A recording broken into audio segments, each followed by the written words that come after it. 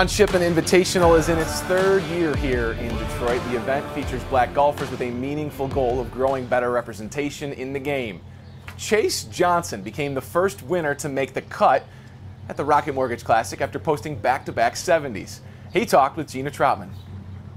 Winning that tournament, that event, must be special, period. But to get what you got out of that, an exemption to this year's Rocket Mortgage Classic, what does that mean to you? It's awesome. Uh, I mean, just like the the whole point of the John Shippen is to create an opportunity, and fortunately, I uh, am able to have an opportunity this week for uh, a PGA Tour event, and hopefully we can take advantage of it and turn it into something special. Just like as I've mentioned before, like Nate Lashley winning uh, the Rocket Mortgage a couple years ago after Monday qualifying and all that stuff. So hopefully, I can follow in those footsteps and and uh, have a good week.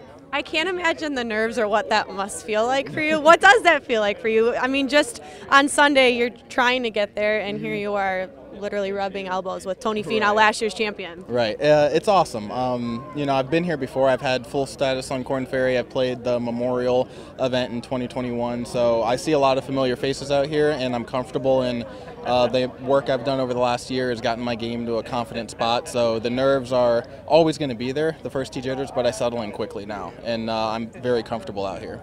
And you mentioned the purpose of the John Shippen, um, and it really aligns with the purpose of the Rocket Mortgage Classic mm-hmm. and all of the, of the, work that they do in the Detroit community mm-hmm. to not only reap the benefits of that, but also just see it in action. What does it mean to you?